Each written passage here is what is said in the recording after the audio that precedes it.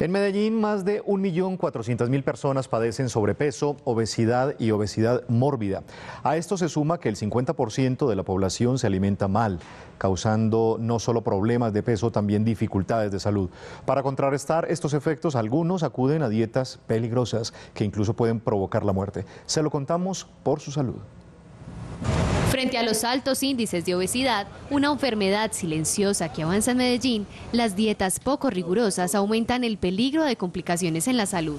Hay una inundación en esta ciudad de dietas que no tienen ningún soporte científico y están no están aceptadas por la por los comités de nutrición, las asociaciones de nutrición, inclusive por la FDA, que es la que regula todas estas situaciones en el mundo.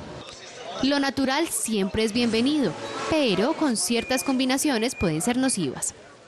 Eso puede tener riesgos para la salud o efectos de yoyo en el sentido de que bajan de peso y luego suben. Lo ideal es comer sano, comer muy natural y basarse en la evidencia científica. Todo en exceso es malo. La famosa dieta de la piña con el atún y los jugos verdes no son malos. Encontrar un balance entre las proteínas, carbohidratos y verduras es lo ideal.